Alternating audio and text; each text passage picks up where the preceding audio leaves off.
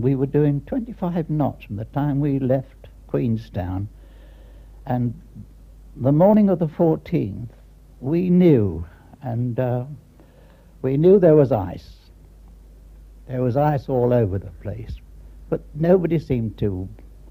I suppose they did care a bit, but I don't know. We had the designer on board, Andrews, and we had uh, Bruce Ismay, the chairman, who lost his job over it because I think it was through him being on board that we were out to break that record. Then uh, things began to happen, and uh, she was grad she was taking in water, and she was gradually listing over to port.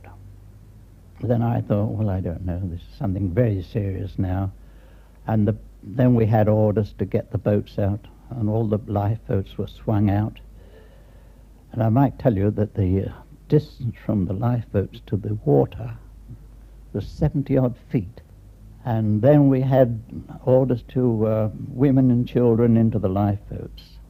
She gradually sank by the head. And you could feel everything going through her. A rumble, rumble of everything movable was going down. And she gradually, um, she went down, then she came up, and she was almost vertical out in the water and uh, I climbed. The, we, there were two boards aft, keep, which said "keep clear of propeller blades," and I hung. I was hanging on to this, waiting to drop in. You couldn't see the water; we were too far away from it. I had a lifebelt on.